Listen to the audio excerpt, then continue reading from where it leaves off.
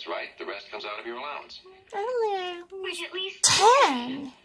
Then there goes your allowance. This payphone will teach you children not to monopolize the phone, and you'll have to be especially careful about toll calls. Zelly, did you know that every call you make to Martha is a toll call? Oh, well,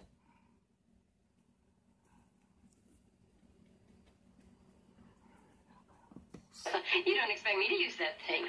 Very good. You can use thanks a lot. Well, two calls. Even when you're arrested, you get to horse. make one call. Yeah, and that one you make to your lawyer. Come on, let's go tell him how we feel. We don't want to a payphone. You can't lie on the floor and talk. that'll make your call shorter, won't it?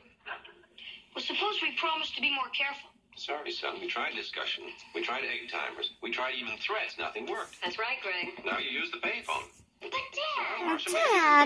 Problem. Dismissed.